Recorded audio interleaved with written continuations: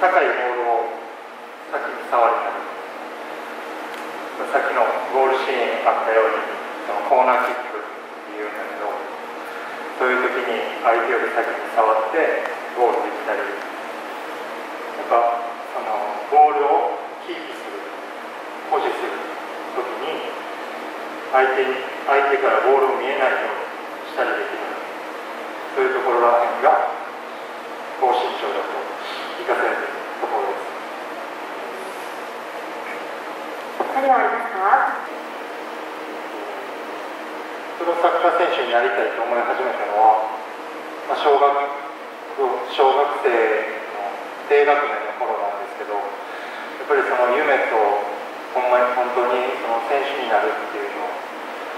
やっぱり、まあ、難しいものがあるのでやっぱなかなかそのうまくチャンスをつかめずにそ大学生まで行ってしまってで大学生の2回生の時にそういう大阪出身なんですけどその関西のリーグで結果残せるようになってそれでその夢が少しずつ実現できるできるっていうふうに自分の中でそういう思いが芽生え始めてでそこからはもうそのプロになるために陰で努力したり練習中も必死に取り組んでやってそれで、えっと、チャンスつかむことができて今デゲバジャー宮崎でプレーすることができてます。ありがとうございます。諦めそうになった時はなくてやっぱり自分の好きなことでそれが仕事になるっていうのは難しいことですけどやっぱり成し遂げた時はとても嬉しいことなんでとかその諦めずに最後まで、え努力してやれば、まあ、どんな形でも夢に近づけると思うので苦しいって思った時はないです。えっと、自分のポジションはフォワードといってそのチームで一番前の選手になるんですけどやっぱフォワードは点を取ることが、まあ、仕事なので、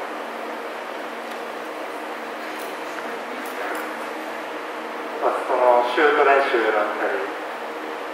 そのシュートに行くまでの過程をしっかりと練習しましたありがとうございます。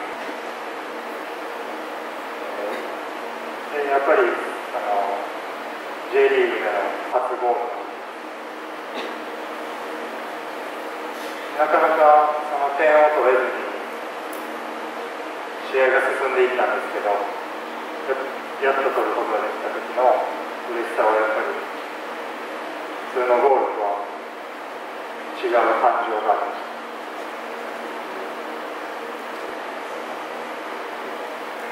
サッカーだけじゃないと思うんですけどやっぱりその自分がやるべきことをしっかり頭の中でリラックスしながらしっかり考えてその整理することでやっぱ落ち着けると思うので、まあ、そのサッカー以外でも自分がやるべきことをしっかり整理することで緊張は少し和らぐかなと思います他はもうその緊張をほぐしてもらえる仲間を見つけるとか私そのエゲバジャールでもその試合前に背中を叩いてもらう選手とかもいたりそういう仲間を見つけるとかも、まあ、緊張をほぐせるかなと思います。その練習の始まる時間前にグラウンドに行って自分の体を整えてストレッチしたりだとかそういうことすることでその試合に向けていい体作りができるのでそういうことを意識という続けてやってます。ご飯が美味しいですね。定食屋とかが多くて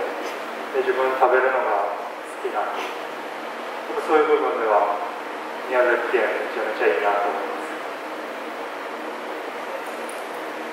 どうやってっていうのは、まあ、分かんないんだけど自分が小さい頃から好きだったのは魚とあと毎日牛乳飲んだりしてたから自分は今でも肉魚の方。それがその身長伸びるのかは分かんないですけど 小さい頃よく魚食べてました。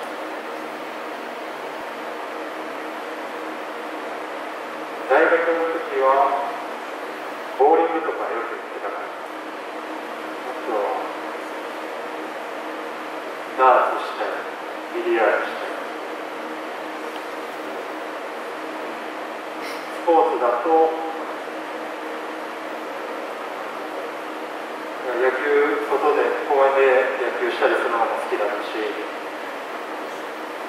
小学生の時からセーリングとかもやってて。スポーツ全般好きかなサッカー以外サッカーが一番好きなんだです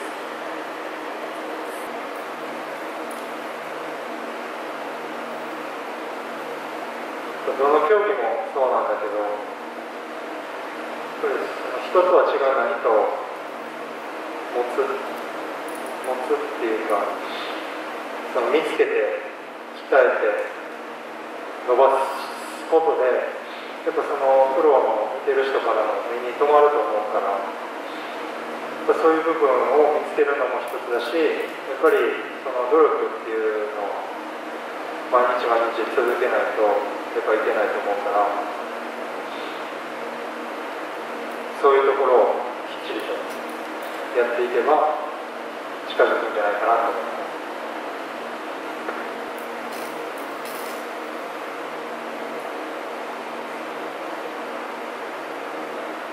まずはやっぱり美味しいものを食べます切り替えも大事なんで負けた時でもっぱ次次のこと考えてしっかり休んで美味しいもの食べてで 切り替えてやるようにしてます。やっぱりその自分がしたいことを一生懸命やるのも大事だけどやっぱり勉強も大事なんでその文武両道両方できるように頑張ってください。